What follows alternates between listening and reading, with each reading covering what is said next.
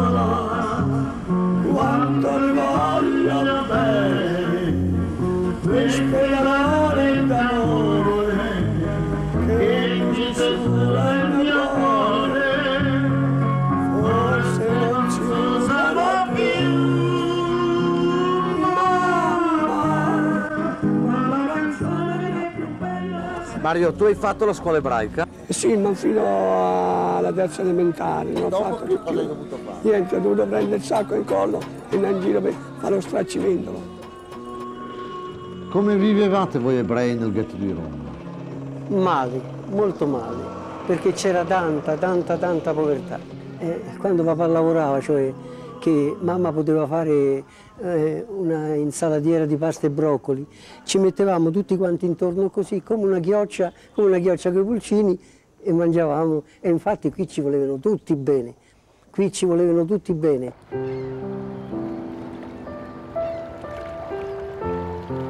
Lungo la fondamenta c'è il sottoportico e incomincia il ghetto, il posto dove io ho vissuto tutta la mia infanzia e giovinezza. Credo che ero felice con la mia famiglia, con mio padre e mia madre, i miei fratelli. Con mio fratello in particolare, il, quello più giovane, giocavamo molto, ci si divertiva, eravamo molto uniti. Allora, ero a scuola, una scuola di suore, scuole superiori. Vado alle toilette e trovo una ragazzina che piange disperatamente, che si sta asci- asciugando il viso. Mi avvicino e chiedo, che ti succede? Stai male? Qualche cosa? Sei stata rimproverata? Dice no, ma dice, la suora ci ha raccontato, dice, di come quei perfidi ebrei hanno ucciso Gesù. In quel momento è stato come se mi piombasse addosso, non so che condanna. E ho dovuto crescere molto con gli anni, riflettere, studiare per conto mio, per capire l'assurdità di questa condanna, ma ce n'è voluto. Eh?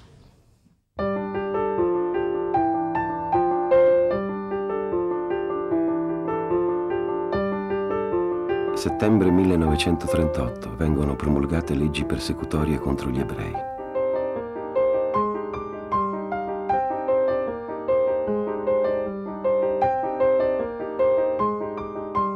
Ebrei diventano cittadini di seconda classe.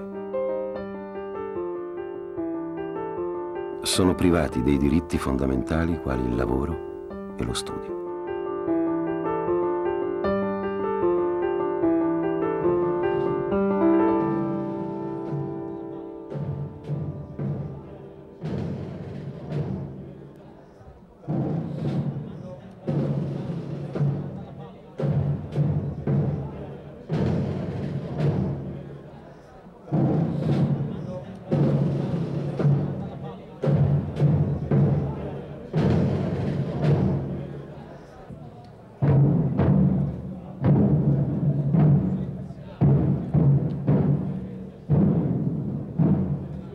Quando sono arrivate queste leggi in ottobre del 38 noi siamo rimasti sconvolti dal comportamento dei vicini, quelli che coabitavano nello stesso palazzo, nelle strade. Abbiamo visto la gente che guardava da un'altra parte o che ci guardava come se non esistessimo, guardava attraverso.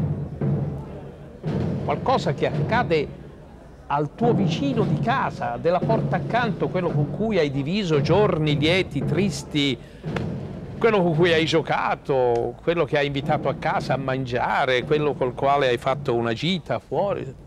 Bam! Da un giorno all'altro il buio più completo, il silenzio più totale.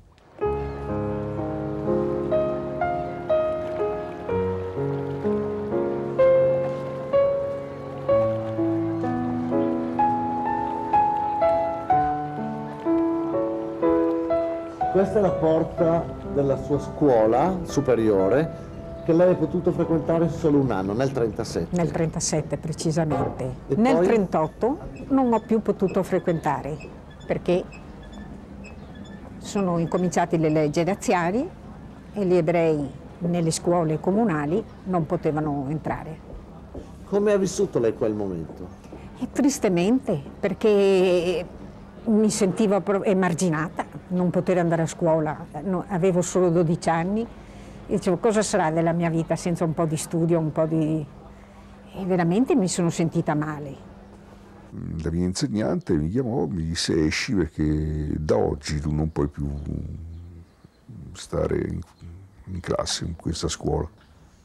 E mi fa, eh, guarda, tu oramai dovresti andare alle medie, non puoi più andarci, basta. Io allora sono andata a lavorare, a fare la sarta e andavo avanti e indietro con dei libri in mano per darmi le arie che andavo a scuola.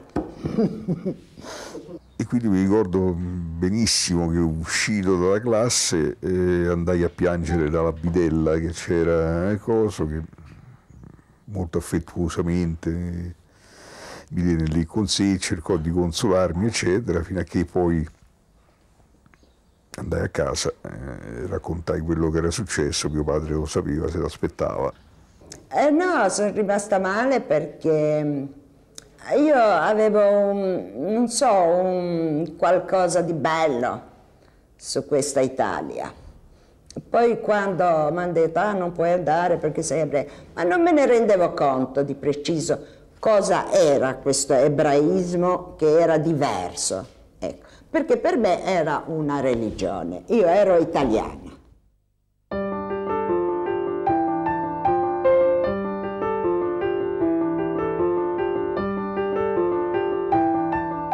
10 giugno 1940. L'Italia entra in guerra a fianco della Germania.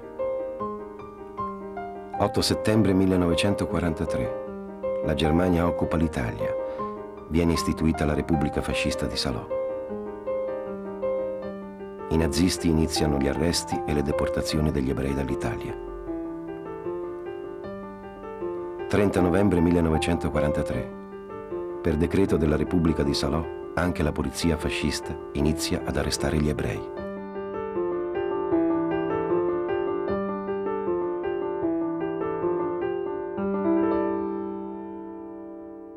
Erano le sette di mattina. Ci hanno bussato alla porta. Abbiamo aperto perché mia, mia madre si faceva delle iniezioni e si chiedeva che era l'infermiere che veniva a fare.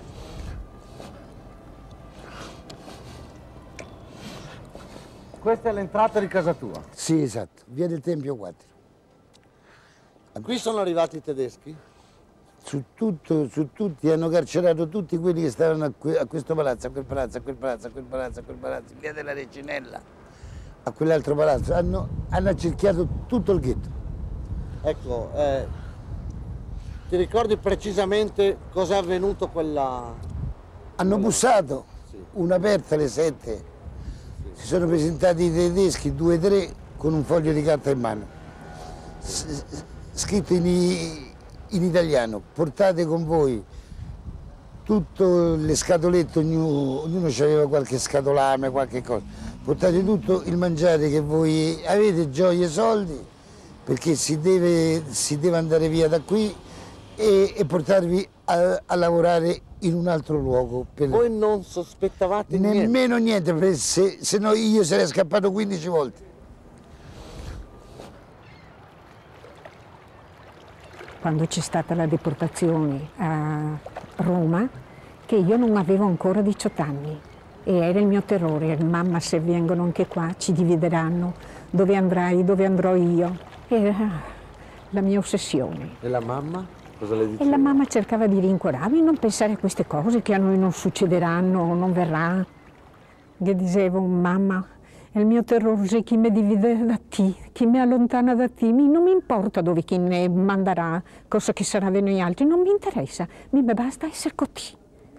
Essere con te, mamma, vicina a te. E mia mamma mi, mi diceva stupida, non pensare a queste cose, pensa a giocare. Pensa a età che ti giochi, non a andare a pensare a queste stupidaggini.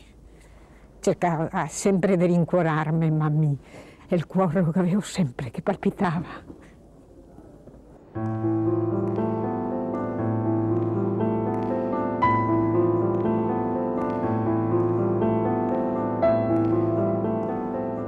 Mi presero per la strada quattro fascisti, fascisti perché c'avevano la camicetta qui e la camicia nera e mi portarono a Piazza Farnese. C'era la paglia a quell'epoca a Piazza Dove Farnese. ti hanno arrestato? A Piazza Cavour. Vendevo queste cianfrusaie così per poter digiunare. Sono venuti da me queste persone, tre persone sono venuti da me dicevano documenti, mi chiesero i documenti, ma io non avevo i documenti, ma loro sapevano che io ero ebreo. Mi fermarono, mi misero sopra una carrozza e da lì mi portarono a Piazza Farnese. Dopo circa due ore venne la Gestapo e mi portarono al carcere. Mi misero in cella e vidi i bambini con le mamme, i padri che stavano, avevano aperto le celle per far eh, camminare i bambini su e giù così.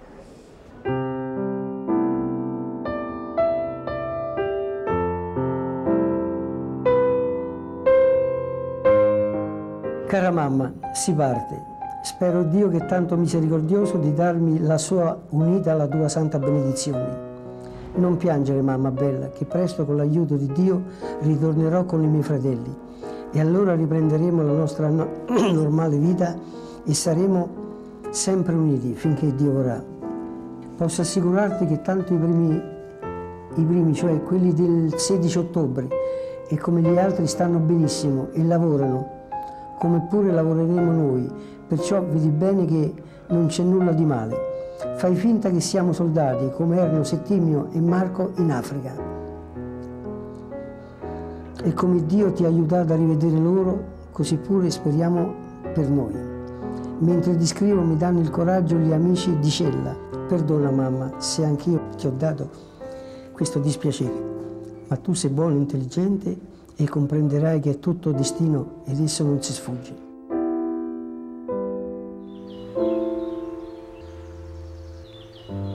Avendo saputo che a Milano c'erano delle organizzazioni che aiutavano i bisognosi a rifugiarsi in Svizzera, ci siamo rivolti ad una di queste organizzazioni, che purtroppo non manteneva quello che prometteva alla gente che si rivolgeva a loro.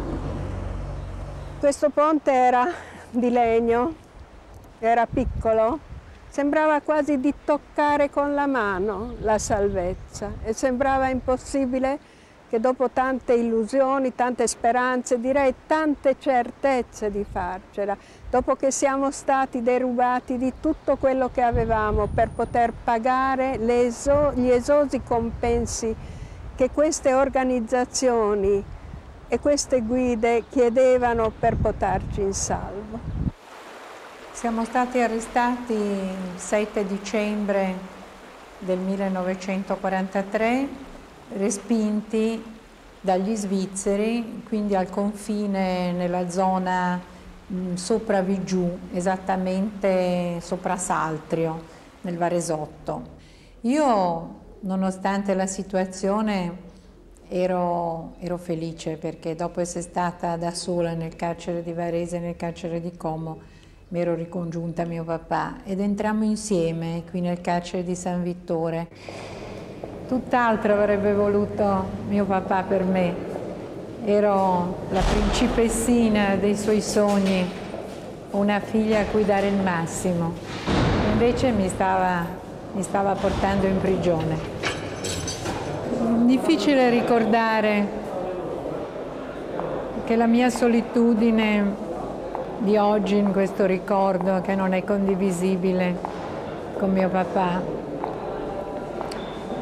Difficile ricordare senza commuoversi, senza ricordare sue, i suoi polsi con le manette.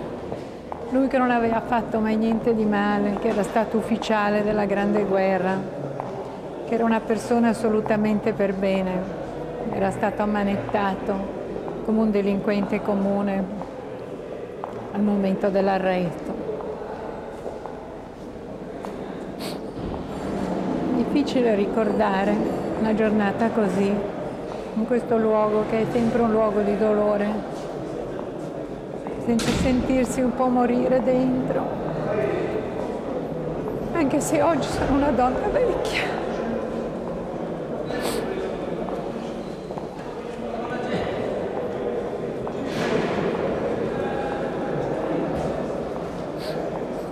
Infatti quando noi dal carcere delle murate siamo stati informati che saremmo stati trasportati in un campo di concentramento in Italia, beh, l'abbiamo vissuto come un fatto, scusami, quasi liberatorio.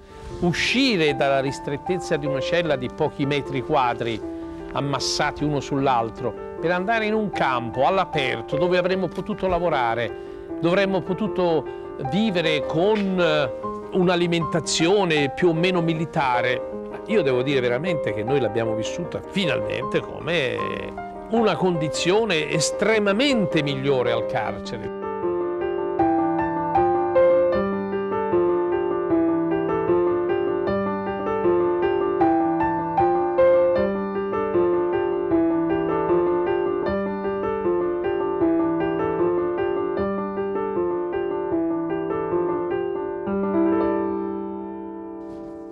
Fossoli, senta, ci levarono tutti i soldi, non ci sapeva nemmeno una lira. Da mangiare ci davano pochissimo. Allora, senta, mia mamma faceva la lavandaia per i ricchi, per quelli che avevano più quattrini che ce l'avevano nascosti, ok? Che allora ci, pagà, ci pagavano qualche cosa, allora noi ci comprava formaggio, la marmellata, un po' di pane. Lei lavava, mi, mi babbo stendeva e io stiravo. Io, io, mi ricordo che, guardi, non avevamo nemmeno il letto da dormire, si dormiva tutti rannicchiati, io e mia sorella, e in un buchetto che avevamo trovato, guardi, veramente eravamo proprio, eh, proprio storditi, guardi. Non c'era per noi, non so, almeno io e mia sorella ci sentivamo proprio niente.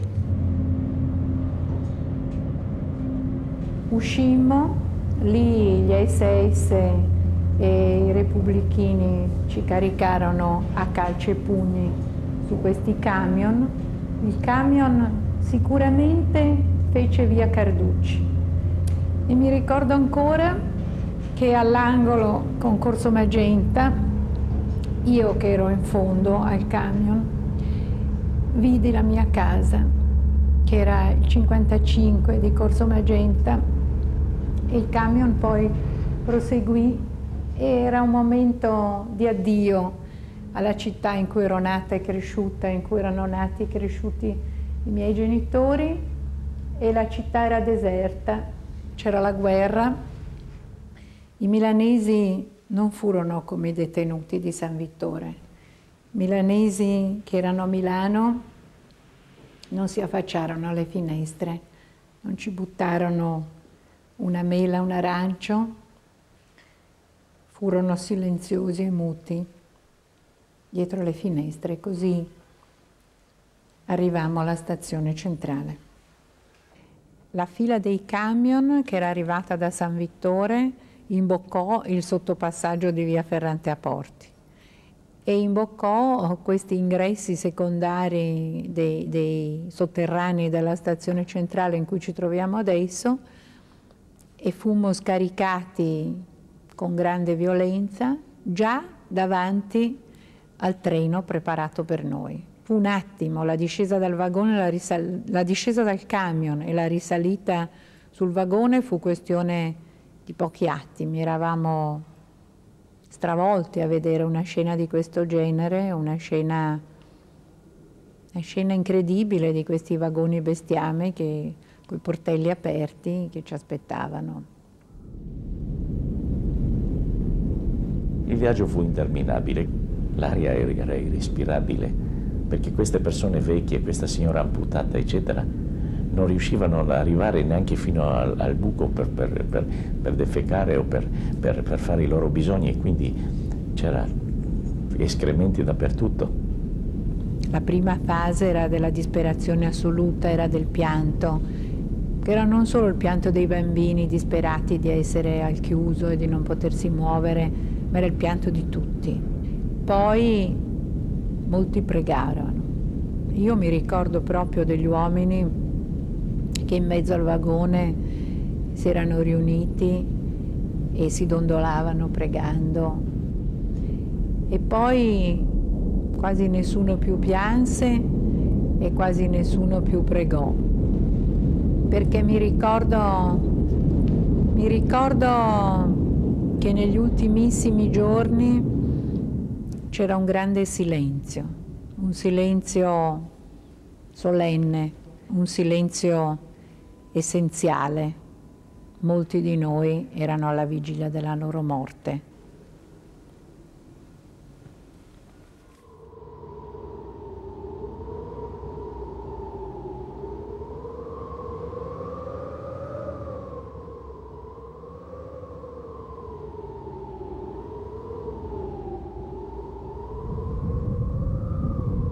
Facciamo questo percorso della morte che hanno fatto tutti gli ebrei che sono venuti a Birkenau, Auschwitz.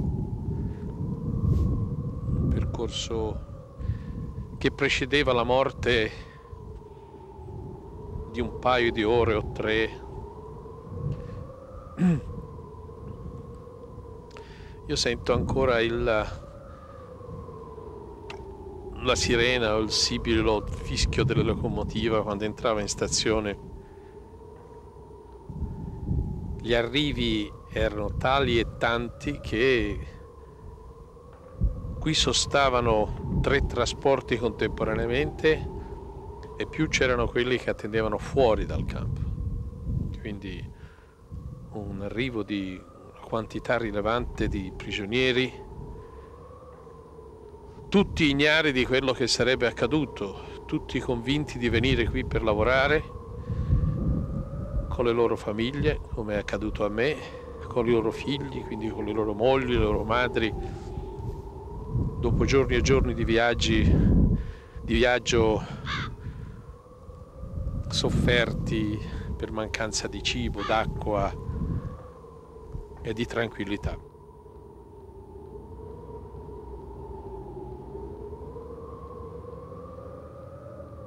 Sceso dal treno ho sentito grandi rumori, abbaiare, urlare, una scena difficile da,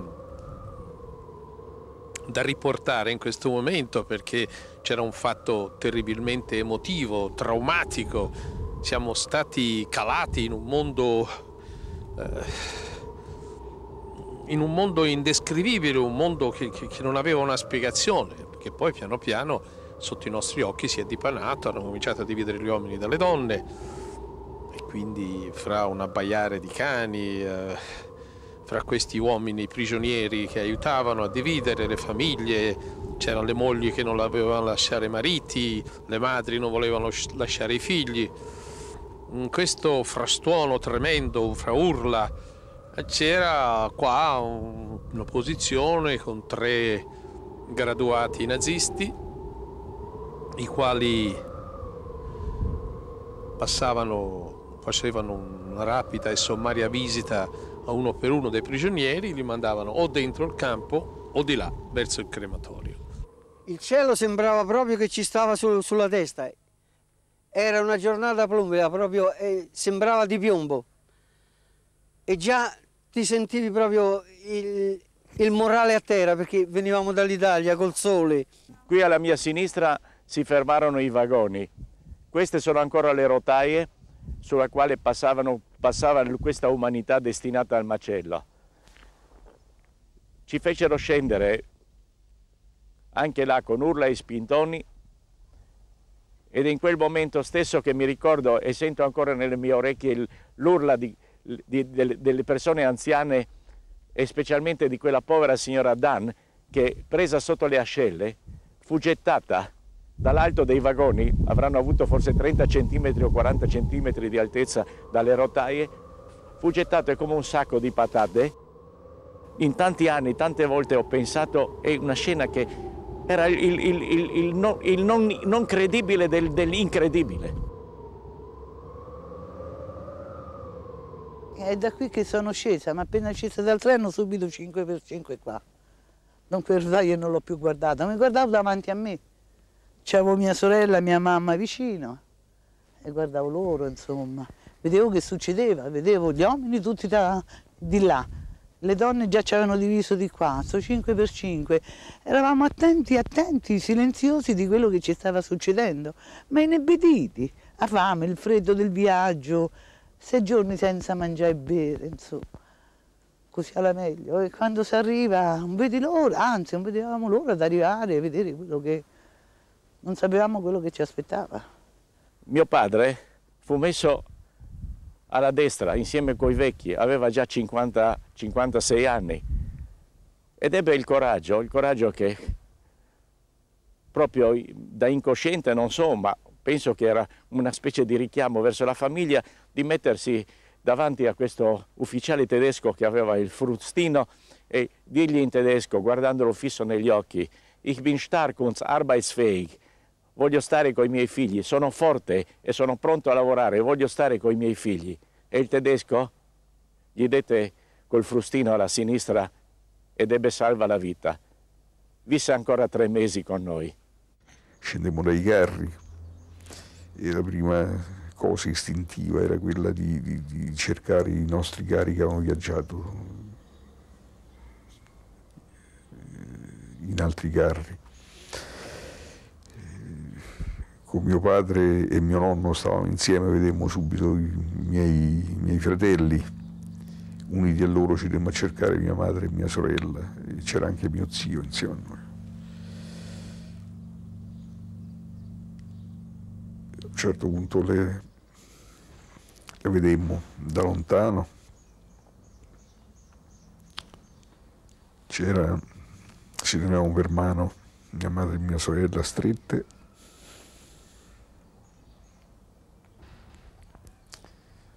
e andammo, andammo incontro.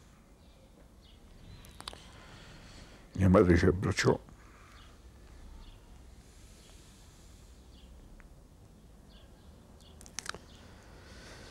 E ci mise le mani sul capo per darci la benedizione. Aveva capito che era arrivata la fine e disse non ci vedremo più.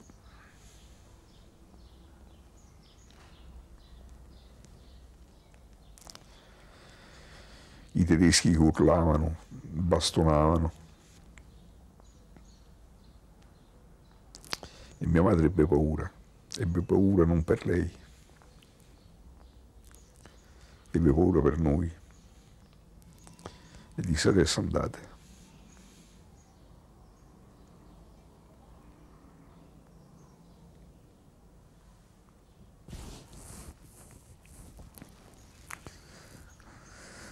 Vista.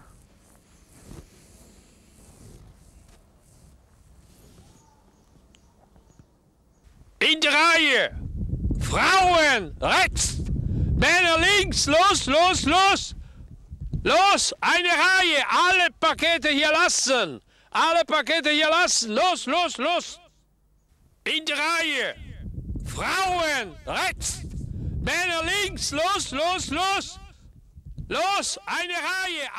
E poi divisero, divisero implacabilmente gli uomini dalle donne. Ecco che io lasciai, lasciai per sempre la mano di mio papà e non sapevo che fosse per sempre, perché se no chissà come, come sarei stata. Invece ancora in quel momento io speravo che dopo poco sarei stata di nuovo con lui o che al massimo sarebbe stato come a Como, come a Varese, separati in prigione ma poi riuniti per un'altra meta. E così ci salutammo e io fui insieme a delle donne in fila e lui a 50-100 metri lontano da me, anche lui si mise in fila con gli uomini. Ci guardavamo, ci guardavamo da lontano, mi ricordo, e io con l'ultimo fiato, cercando di non piangere, gli facevo dei, dei piccoli sorrisi, gli facevo dei ciao da lontano perché io ero sempre molto, molto preoccupata per lui, che così sofferente, così, così disperato di avermi messo al mondo, così, così preoccupato logicamente per me com'era. E allora gli facevo ancora questi, questi piccoli salutini da lontano, poi invece a un certo punto poi non, non l'ho visto più e non l'ho visto mai più, infatti.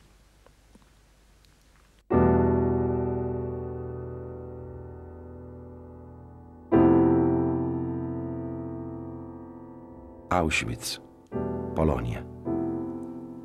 27 aprile 1940. Le autorità naziste trasformano delle vecchie caserme in un campo di concentramento per detenuti politici. Tra la fine del 1941 e l'inizio del 1942, il complesso di Auschwitz è scelto come luogo di sterminio per gli ebrei di tutta l'Europa. L'attività di messa a morte è spostata dal campo di Auschwitz I a Birkenau, situato a 3 km di distanza. In prossimità del bosco di betulle di Birkenau, due piccole costruzioni sono trasformate in camere a gas. Successivamente vengono costruiti quattro enormi crematori con camere a gas annesse per rendere più rapido lo sterminio di massa. All'arrivo degli ebrei deportati, i nazisti effettuano una selezione. Circa l'80% viene mandato agli impianti di messa a morte. Gli altri entrano in campo per divenire manodopera schiava.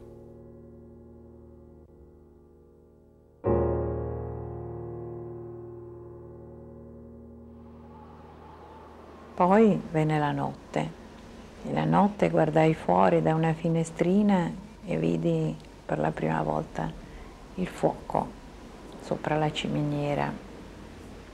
Era una visione, una visione molto brutta, era una visione della notte nera, la neve bianca, brillava, brillava perché il fuoco là in fondo era sinistro, era terribile.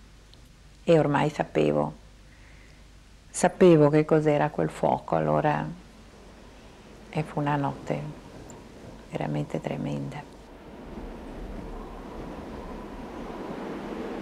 Dopo una settimana, diciamo, di lavoro e non mi rendevo conto che era quel, quel fuoco, no? non il fumo, il fuoco addirittura usciva da questi cammini.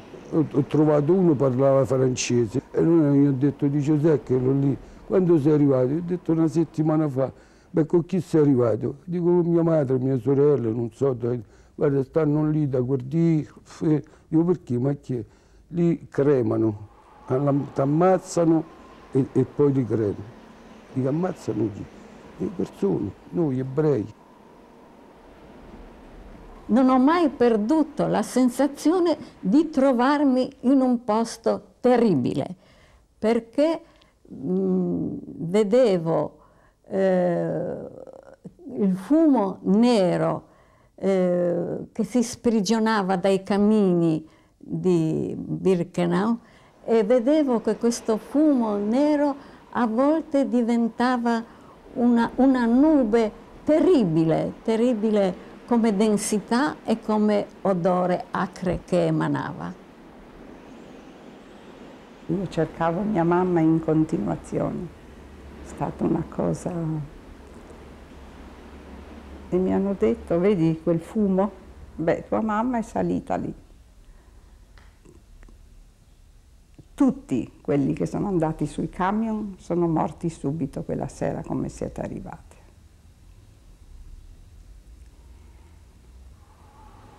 Ho avuto un grosso trauma, non parlavo più per parecchio. Quando ci fu detto davvero voi credete di essere arrivati in un luogo di villeggiatura, ma dove credete di essere? Non sapete che siete in un campo di sterminio, in un Vernichtungslager e ci hanno fatto vedere da una finestrella una costruzione in cemento che era in fondo al campo e che era sovrastata da un camino da cui usciva un'orribile perenne fiamma e ci hanno detto se non sono bruciati già stanotte stanno bruciando adesso, non c'era più possibilità di illuderci. Allora abbiamo capito dove eravamo e abbiamo capito che anche la nostra vita, il nostro futuro era legato a quel cammino da cui saremmo comunque usciti perché non c'era altra via.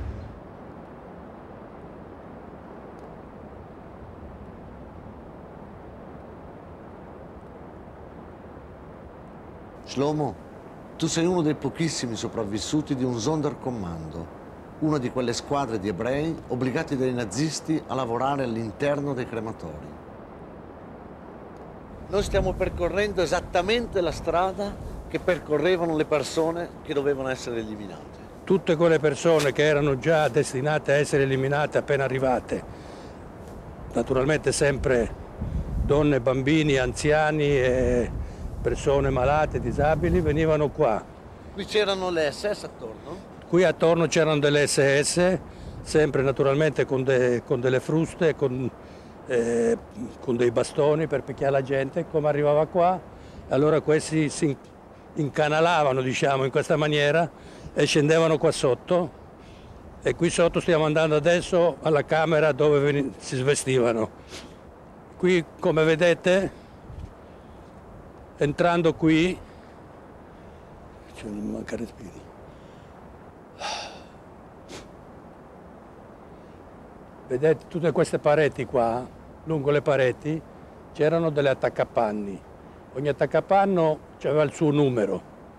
Il tedesco, ormai quando la gente, la maggior parte della gente era qua dentro, faceva dire a uno dei prigionieri eh, di, della, della nazionalità delle persone che erano arrivate, eh, di appendere i loro abiti e di ricordarsi bene il numeretto dove appendevano la roba, di modo che quando uscivano trovavano tutto quanto la roba che avevano lasciato là, altrimenti si sarebbe creato molta confusione e avrebbero perso la roba e non voleva che succedesse una cosa del genere.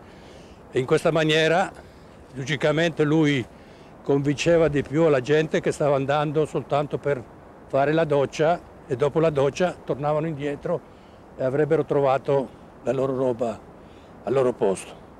Di tutto questo era tutta una menzogna. Qui ci sono questi, eh, tutti questi mattoni che le rovine appunto dopo che l'hanno eh, fatto saltare per aria, se non che entrando in questo atrio dallo spogliatoio si mettevano appunto nell'atrio, di fronte c'era un montacarichi dove veniva coperto al momento che la gente passava e poi a sinistra c'era un'altra porta dove metteva dentro questa camera eh, dove dovevano fare la doccia, invece era la camera a gas.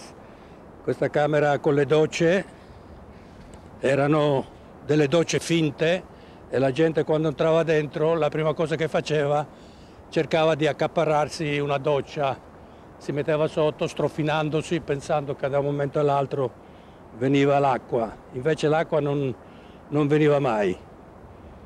All... qui davanti La porta era qua, l'uscita era esattamente qui. C'era una sola porta in questa camera? Una sola porta e siccome era proprio a piano, diciamo, con la terra fuori, si vedeva soltanto quel eh, tombino dove appunto immettevano dentro eh, questo ciclone B, il gas. Quant'era grosso? 60-70 centimetri quadrati. E lì il tedesco si metteva la mascherina, apriva queste scatole di, di Ciclone B, che poi avevano un, colo, un colore sull'azzurrino celeste, una cosa un po' che poi cambiava colore con, a contatto dell'aria. E veniva, buttava, si metteva la mascherina lui perché aveva paura di aspirare quell'odore, e buttava dentro e lì era due di noi, due ragazzi no, di noi, ci, ci, ordinava di, mettere, di coprire con il, il coperchio fatto appositamente per quel tombino, diciamo. Si chiudeva quel tombino e tutta quella gente eh, dopo 8-10 minuti era ben che asfissiata. Allora dopo di quello andava via questo tedesco col camioncino, dalla parte sotto si apriva sport, quella porta che c'era giù, che poi è una porta, si poteva dire, blindata in quanto era abbastanza spessa. Prima di entrare dovevamo far arieggiare un po' la, questa camera e passavano sicuramente una ventina di minuti o mezz'ora massimo. E allora i primi cadaveri già stavano a portata di mano, si può dire, erano ancora tutti caldi perché erano appena morti. E il mio compito era appunto quello di, di fare di, il barbiere, e il mio compito era appunto di tagliare i capelli a, specialmente alle donne, solo alle donne, perché erano quelle che avevano i capelli lunghi. In quei periodi là erano tutti con le trecce lunghe e i capelli abbastanza... E siccome loro prendevano appunto i capelli e li mettevano, ce li facevano mettere in dei sacchi e quando si riempivano parecchi sacchi veniva un camion e li portava via.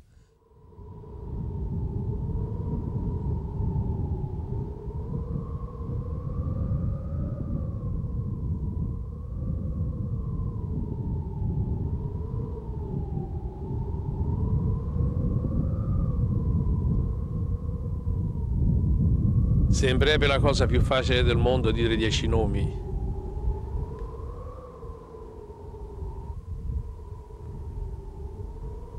Ma sono dieci massi, sono dieci staffilate, sono dieci raffiche di mitra, sono dieci assassini, la mamma, Nella, papà, Ulderigo, mio fratello Enzo, sua moglie Lilia, il bambino Sergio di un anno e mezzo, mia nonna Gemma di 80 e più anni, mia zia Lina della Torre e suo marito Oliviero e i due figli Maglio e Massimo.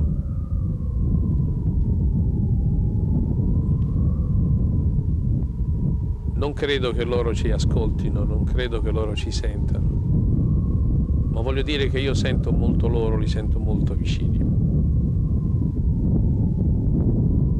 In questa che è la loro tomba li sento molto vicini.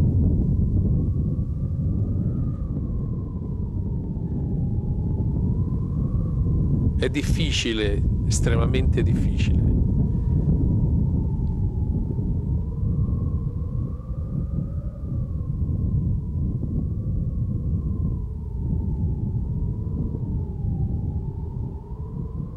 ho avuto la brutta sorpresa di incontrare mio cugino, Leone Venezia, se non che mi, lo sono visto capitare giù dove si spogliava questa gente e lui sapeva che di trovare qualche eh, cugino sotto e difatti mi ha cercato e ci siamo incontrati giù dove si spogliavano loro.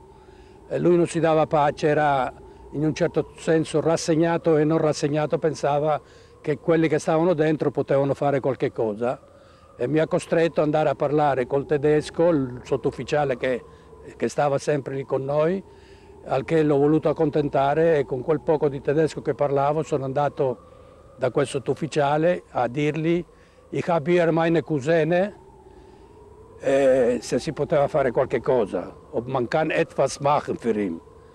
E allora mi ha, mi ha subito risposto che Alex mi ha detto in tedesco Scheißegal, Scheißegal che vuol dire tutta una porcheria.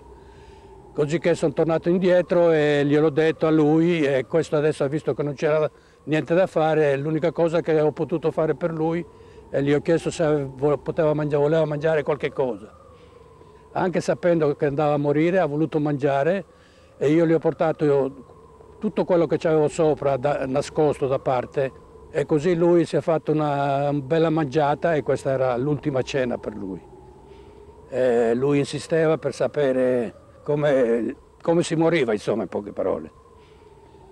Gli ho detto di farsi coraggio, che non avrebbe sofferto e che purtroppo di lì non si usciva, non si poteva uscire, almeno che non andava a un altro al posto suo, perché quelli che rimanevano vivi dovevano essere lo stesso numero i pezzi dovevano essere sempre i stessi pezzi.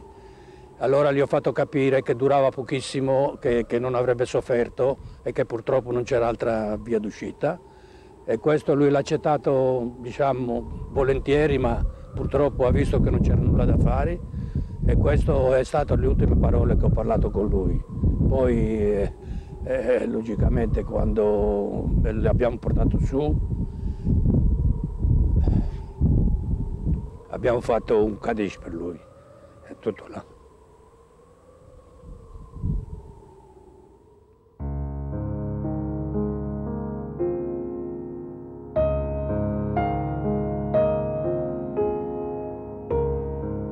Mi ricordo che molte volte svenivo,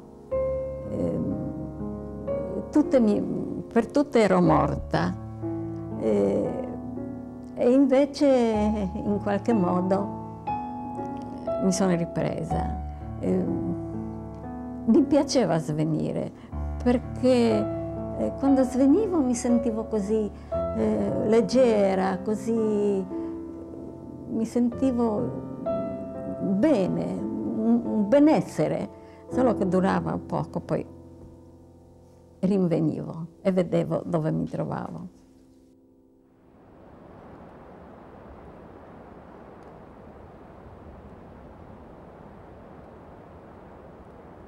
I bambini che scendevano dai vagoni erano come i bambini di tutto il mondo,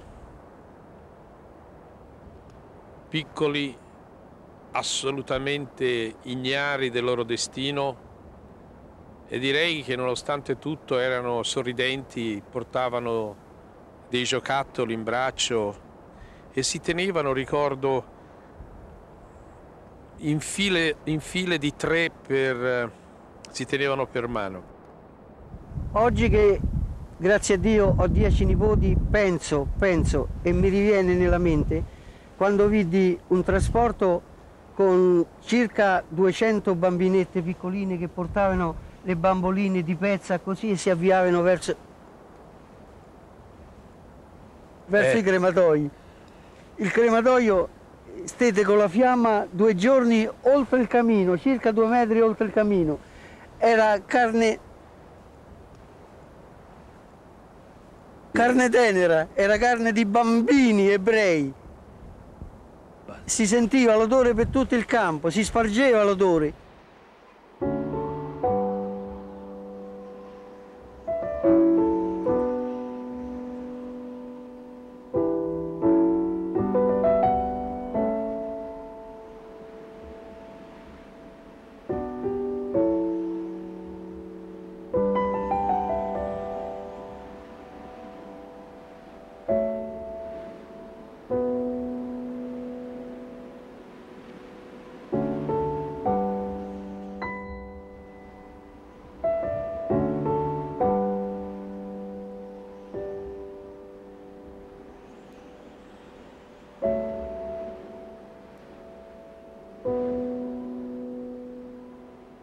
53 anni, non si è mosso un decimo. E quando ero piccolo, che quello che, che, che me l'ha fatto, ogni puntino zampillava una gocciolina di, di sangue, mi ha visto, visto, un po' sbalordito, un po' impaurito, mi ha detto stai tranquillo che te lo levo, guarda. Va bene? Che non c'è più niente? Va bene che non c'è più niente, ormai stava nel sangue, sta ancora qui. 179 605. Papà aveva 179 606. 8501.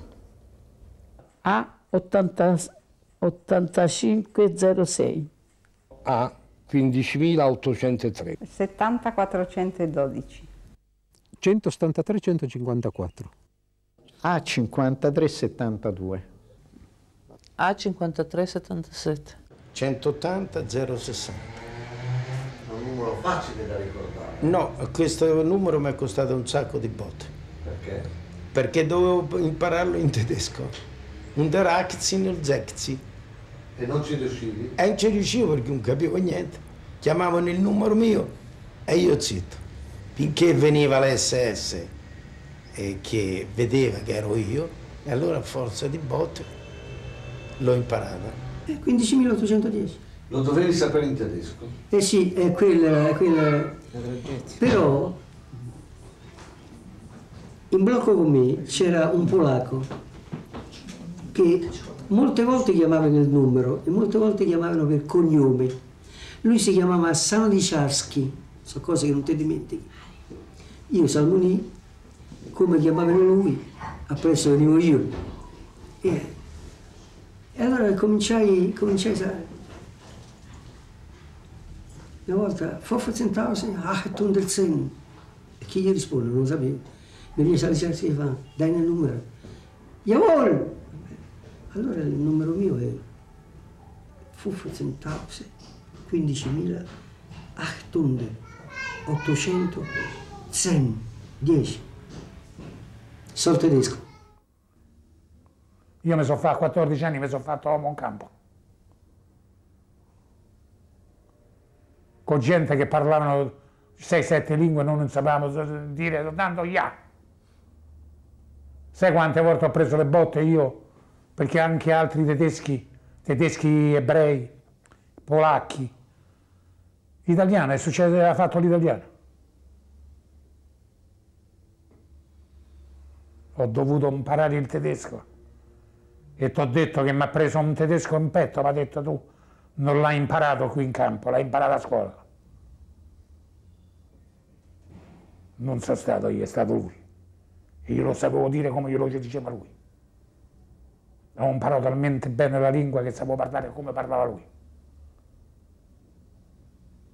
Non ho preso le botte, sempre preso le botte. Ci chiamavano maccaroni.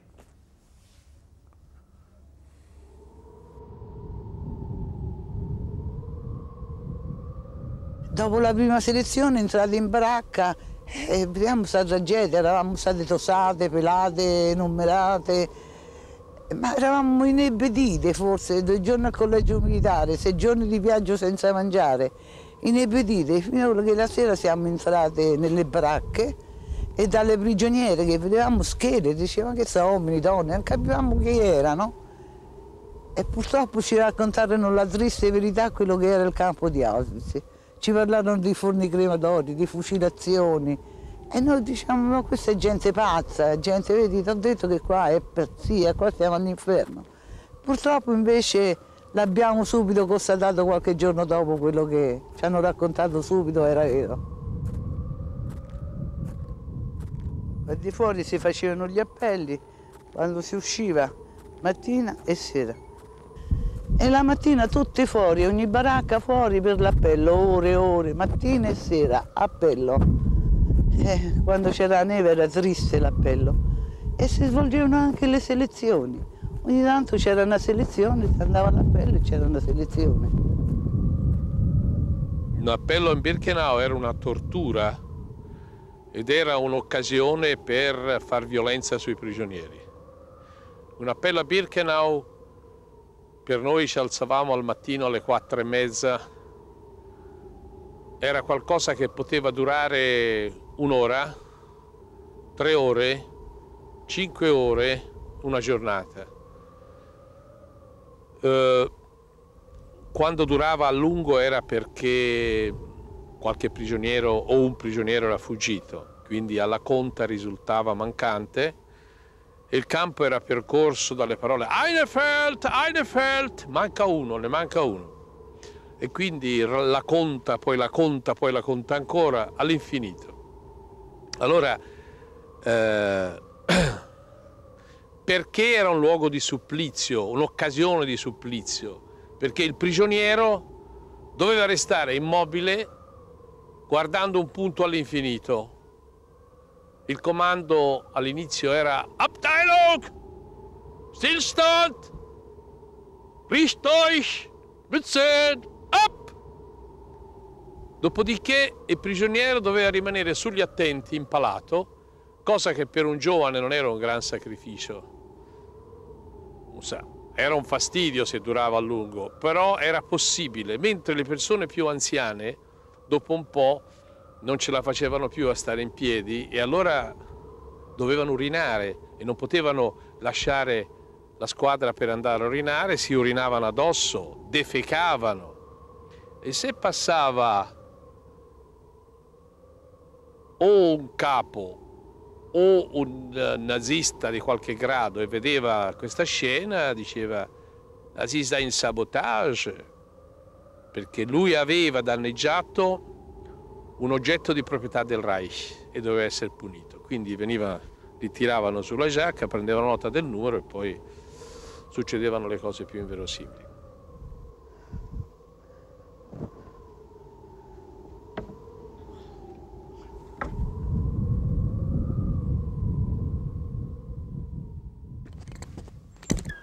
Descrivo, dunque qua c'erano la stanza della Blokova, ci si vede molto bene, ma insomma.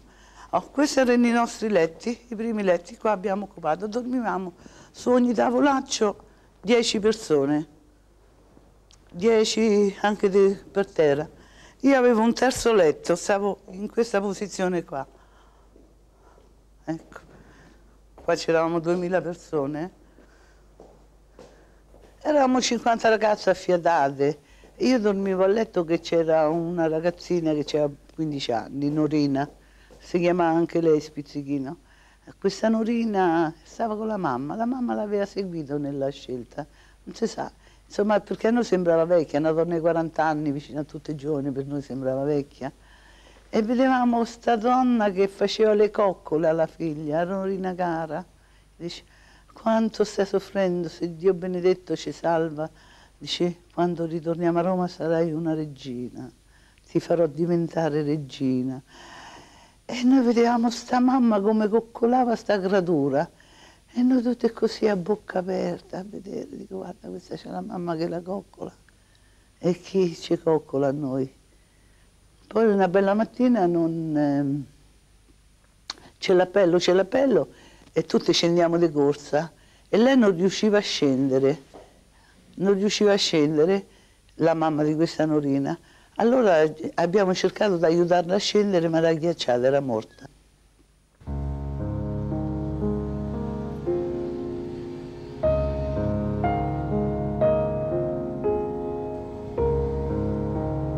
Ero intento a pulire le baracche. Voleva dire stare al coperto, eh, dalle intemperie, faceva freddo. In mezzo a, a ai castelli, de, ai letti, vidi muovere. Incuriosito arrivai là, esterefatto proprio. Vidi un omino che poteva avere a quei tempi 50 anni, 55 anni, che aveva i tefillim indosso e pregava con un libricino così. Beh, lo picchiai selvaggiamente. Ma gliene detti di botte. La testa gliela sbattei più di 8-10 volte su, sulla parete della baracca. Tu mi domanderai perché? Beh, fui forse preso da un istinto di sopravvivenza, poiché se invece di essermi accorto io, se ne fosse accorto l'SS, che non è che l'SS chi bussava per entrare in una baracca. Beh, lui aveva messo a repentaglio la vita di 70 persone, perché non è che avrebbero fatto un processo, avrebbero preso il mitra, radunata la baracca e avrebbero ammazzato tutti, ma senza nessuna una cosa semplice, senza nessuna. Beh, dopo, ah, e lo ammonì di non farlo mai più. Questo poveretto riprese sti defillim, sto libricino e lo rinascose. Lo nascondeva in un pezzo di pagnotta nera tedesca. Aveva scavato la mollica e poi ricopriva con questo strato di mollica sopra. Dopo capì la devozione che questo uomo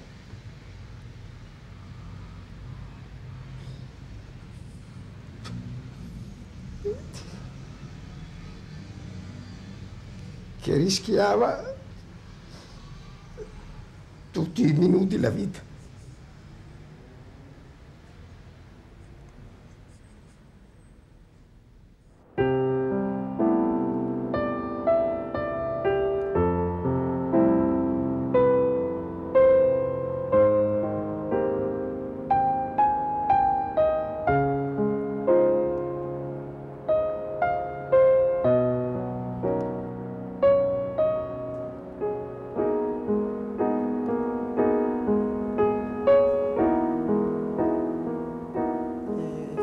Alberi.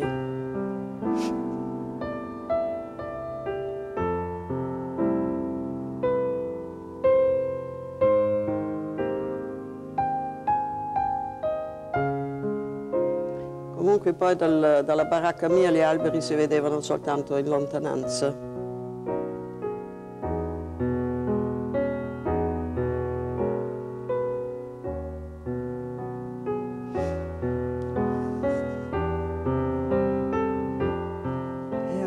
Effetto strano.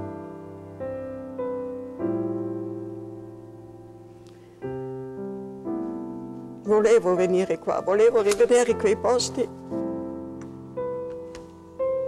per vedere se me la ricordavo veramente bene ed era lo stesso, uguale, preciso, preciso, come lo, tengo, lo tenevo in mente da 50 anni, sempre giorno e notte.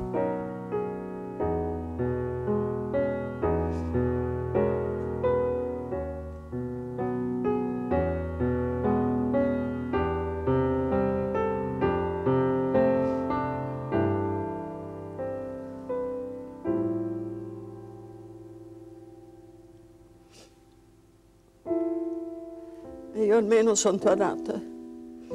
E tutte quelle povere compagne e altre che non sono più tornate.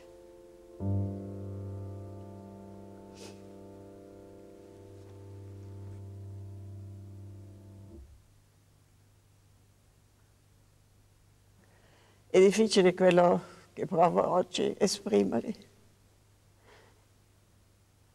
In questo momento mi è difficile parlare. Cercando di fare la forte, ma mi rivedo qua, nuda, privata di tutto, della mia dignità, della mia personalità,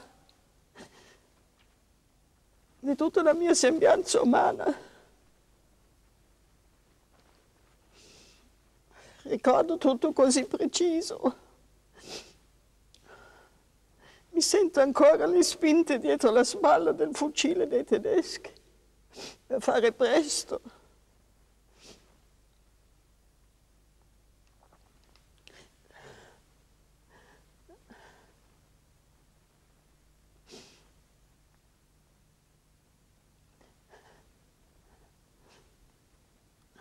Vedo ancora tutte le mie compagne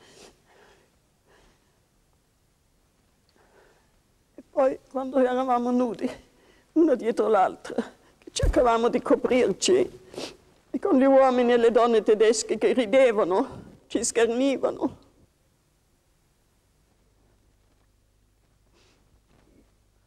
Anche se non ho mai dimenticato questo baraccone, ma adesso trovarmi qui così.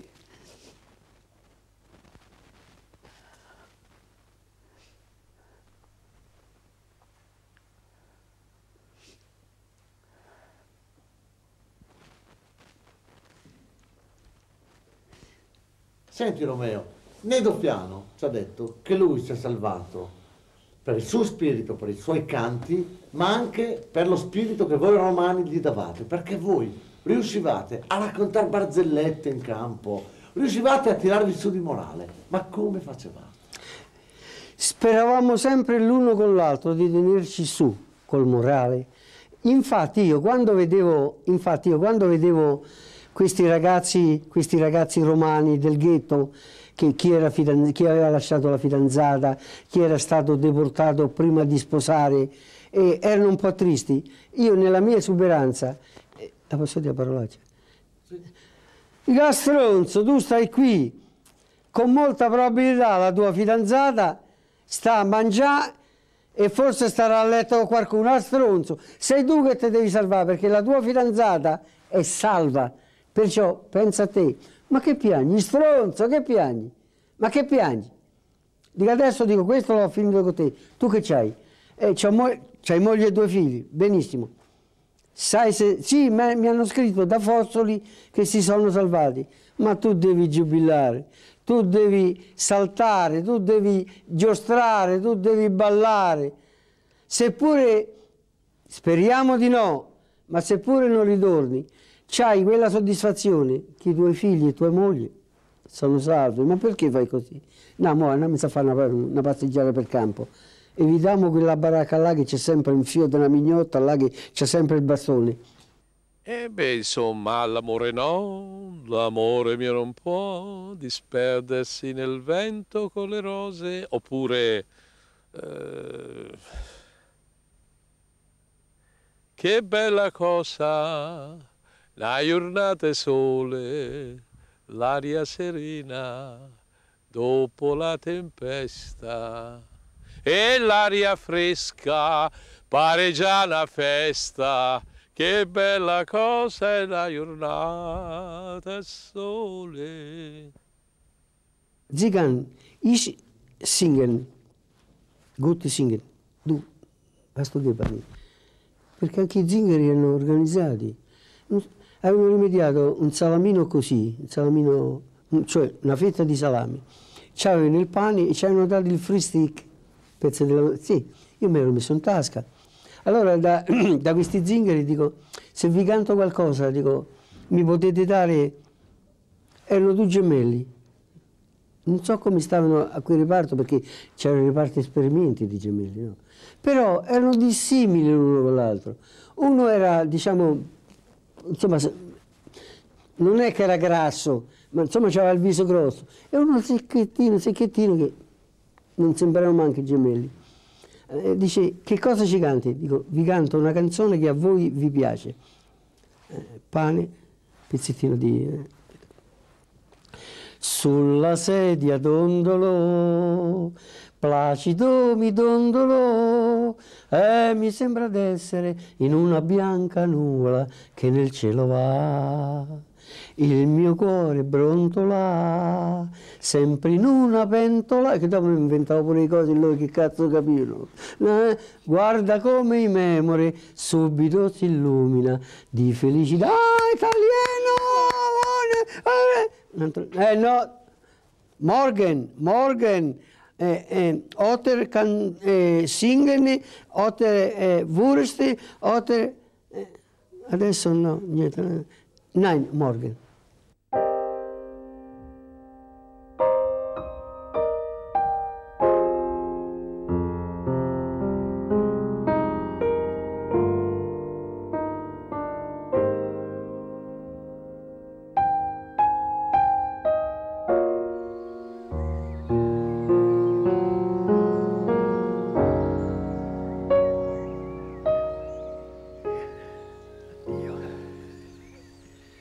Adesso ci sono gli uccelli, allora non c'era. Mamma mia, quante volte l'ho fatta questa strada. Eh, certamente non esisteva tutta questa, era tutta, tutta, tutta terra, eh, come, non so come definirla, eh, melmosa.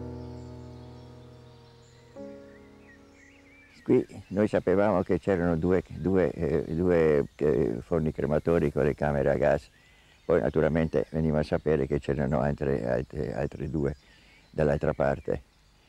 Ma ripeto, la nostra angoscia era che arrivati a questo, a questo punto, girando già a sinistra, eravamo in certo senso a metà tranquilli perché un crematorio l'avevamo abbandonato ma però bisognava arrivare e sorpassare ovviamente l'altro crematorio che era situato lì dove vedete questi, questi mattoni. In tutta questa lunghezza era il crematorio 4. Pensate, questo succedeva ogni mese. Noi avevamo questi traumi mensilmente della disinfestazione, in più si aggiungevano poi le famose selezioni.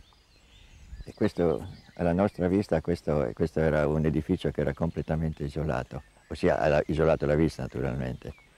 E voi immaginate, venendo dal campo, percorrendo questo itinerario, quando, eh, adesso me ne rendo conto, quando voltavamo qui a sinistra, finché non avevamo superato, ossia finché non arrivavamo a quell'edificio lì, non sapevamo se venivano, venivamo indirizzati alle camere a gas o alla sauna e questo purtroppo succedeva quasi, quasi ogni mese.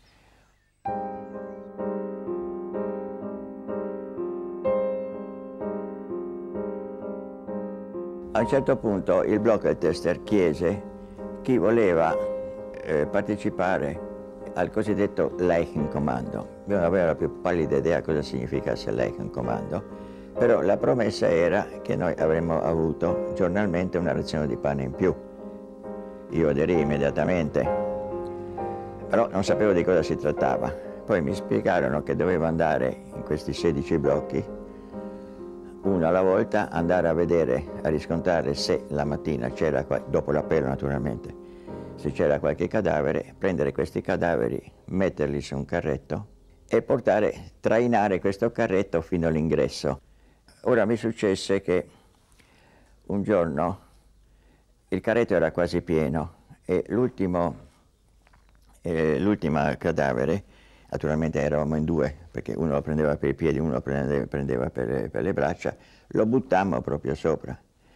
E casa volle che questo mi cadde proprio davanti, seduto, con le braccia così, ed era veramente pelle e ossa quello che noi, che poi ho, ho appreso che in campo si veniva chiamato il musulman. E fosse vero o meno, ebbe l'impressione che questo non era morto, non poteva parlare, ma ho avuto l'impressione che con gli occhi mi implorasse di, di levarlo, perché lui lo sapeva già, perché lui era, probabilmente era a conoscenza dell'esistenza dei campi, dei, dei, dei, crematori, che lo levassimo da, da, questo, da questo carretto. Bene, questo è uno dei traumi, uno delle, diciamo, sì, dei traumi che io ho portato avanti ogni notte, questa visione l'ho portata avanti per 25 anni.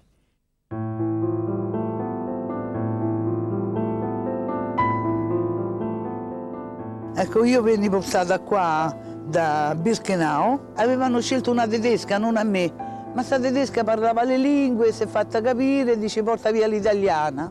E io mi rifiutai, dico, ho scelto te, ma io non mi potevo più difendere perché la lingua non la sapeva, questo mi ha preso, ha detto scendi giù dal letto, mi ha messo una coperta addosso e vieni con me. E io non sapevo dove andavo, tanto che vedevo che tutto l'ospedale mi fece ciao italiana, ciao italiana, ma dove vado? A morte, ma perché mi salutano tutti in questo modo? Perché non sapevo dove andavo e neanche quando sono arrivata qua, che mi hanno custodito, pulita, lavata, messa a letto. Ma che mi sta succedendo? Tutto immaginavo fuori che, che finivo in un blocco di esperimenti. quando passai al salone di là, ero allettata con questo grande romanismo che non mi muovevo. A un certo momento mi è venuta l'idea di alzarmi, di alzarmi. Mi sono attaccata al lettino che ci avevo vicino, poi mi sono appoggiata alla seggiola. Dalla seggiola piano piano piano piano mi sono trascinata fino al lavandino, perché vi devo far vedere eh, come era disposto quel salone. Mi sono avvicinata al lavandino. Io non mi ero più specchiata. Dal giorno che sono uscita da casa, il 16 ottobre, io non ho visto più uno specchio. Quando mi sono appoggiata al lavandino, che mi sono fermata, mi sono aggrappata così al lavandino, ho guardato lo specchio. Io sapevo che c'era lo specchio, perché vedevo che tutti si andavano a specchiare. Lo sapevo, non è che non lo sapevo. Quando mi sono appoggiata al lavandino così per reggermi, ho guardato lo specchio e ho fatto così. Dio, porella, quella, quella sta morendo, faccio così, quella sta morendo. Fa così con le mani, toccandomi il viso. Mi sono vista allo specchio che ero io quella che dicevo che stava morendo. Sono riconosciuta le mani così. Ho preso e sono crollata per terra, mi sono svenuta e sono crollata per terra. E chi la faceva questa sera?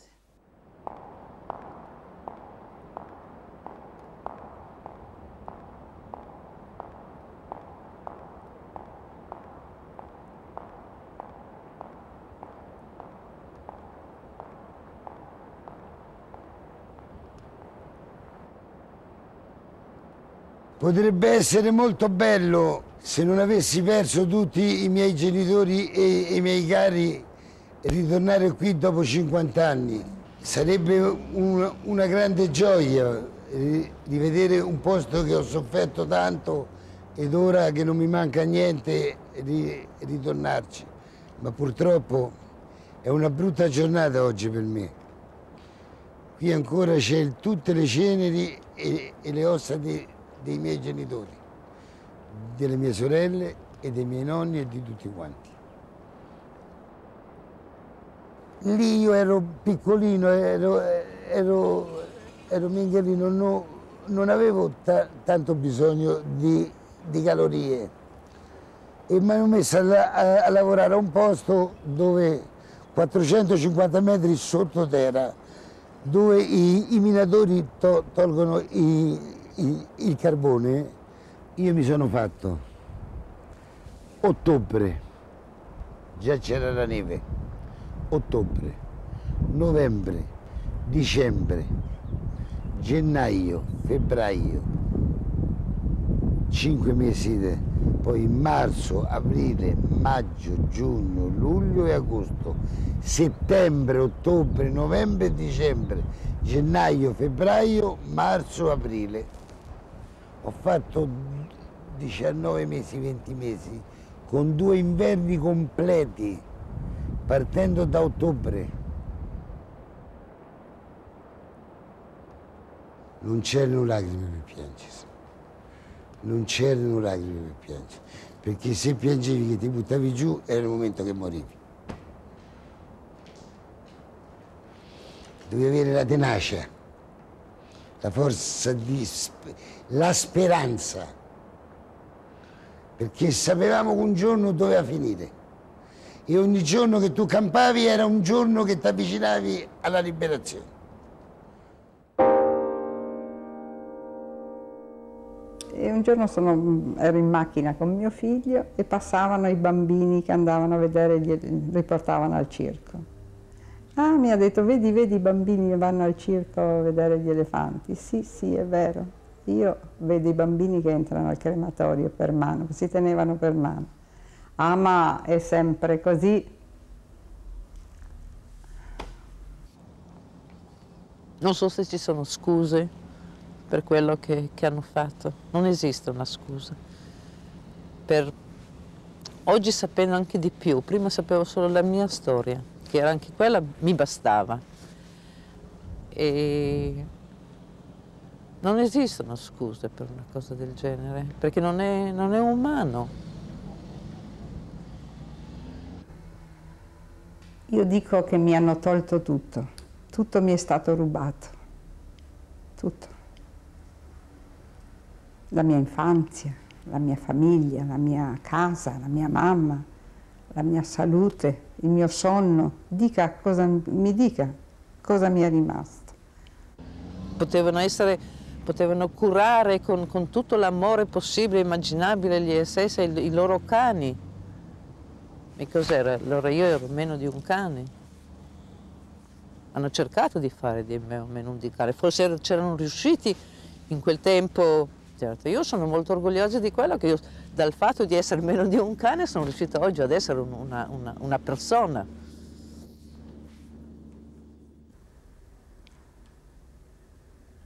Io maledico il giorno che sono uscita da quel lager, non dovevo uscire.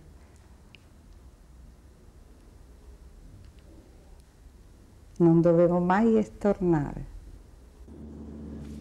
E anche l'orgoglio sta in questo che loro quanto, per quanto hanno fatto e per quanto ci sono riusciti in parte, hanno perso, non sono riusciti, non sono riusciti a sterminarci. Io sono qua e non mi hanno sterminato. Mia moglie mi ha detto, mi ha dato queste cose qua,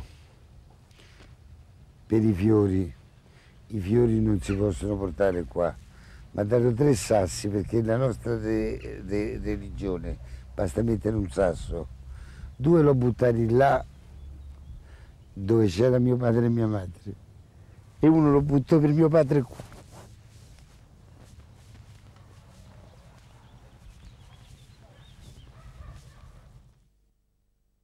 Per realizzare quest'opera sono stati intervistati 93 ebrei italiani sopravvissuti alla deportazione.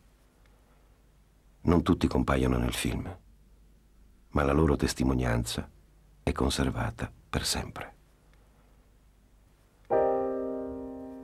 Questi sono i loro nomi. Esther Amato, Isacco Baiona, Silvia Belleli, Stella Benveniste, Enrico Breiner, Alessandra Bucci, Titiana Bucci, Angelo Calò, Esther Calò, Matilde Cohen, Rachele Cohen, Raimondo Cohen, Salomone Dana, Ottaviano Danelon, Germana del Mare, Adriana di Nepi, Giuseppe di Porto, Lello di Segni, Donato di Veroli, Errina di Veroli, Giuditta di Veroli, Leone di Veroli, Silvia di Veroli, Teo Ducci, Lucia Eliezer, Fausta Finzi, Stella Franco, Norina Gehan, Martino Godelli, Adolfo Gruner, Enrica Iona, Gisella Kugler, Elsa Levi, Italo Dino Levi, Rachele Levi, Rosa Levi, Mario Limentani, Liana Millù, Giacomo Moscato, Matilde Mustacchi, Rachele Mustacchi, Amalia Navarro, Luciana Nissim, Graziella Perez, Lello Perugia, Settimio Piattelli, Edo Rabà, Luciana Sacerdote, Gilberto Salmoni, Diamantina Salonichio, Dora Scemarià, Giulia Sharkon, Franco Schonheit, Fattina Sed, Eugenio Sermonetta, Pacifico Sermonetta, Marco Spizzichino, Jacob Sturm, Arianna Zoreni, Giuliana Tedeschi, Natalia Tedeschi, Loredana Tisminieschi, Josef Varon, Albina Valek, Lina Ventura, Benedetto Vivanti, Arminio Waxberger, Enrica Zarfati, Milena Zarfati, Silvana Zarfati.